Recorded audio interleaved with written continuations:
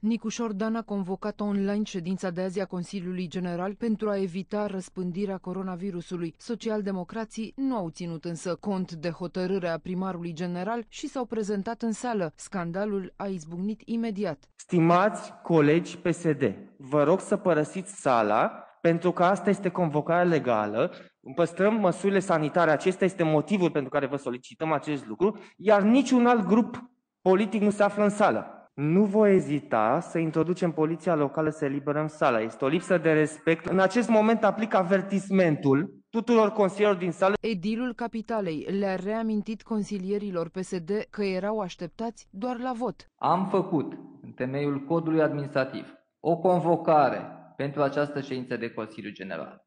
Și în convocare am prevăzut în mod expres că fiecare din grupurile politice va participa la această ședință în sala grupului care este rezervată. Doar în momentul votului sunt așteptați să veniți, să votați secret la cabinele de vot care sunt desemnate pentru asta. Consilierii PSD au refuzat însă să părăsească sala de Consiliu, iar ședința a fost suspendată pentru o oră.